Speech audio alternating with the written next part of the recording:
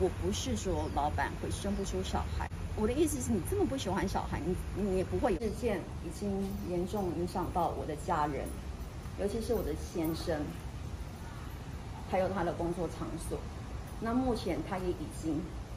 放下手边所有的工作，所以我希望大家不要再过度再来关注我我的家人们。希望我我希望在此事件能够就此落幕，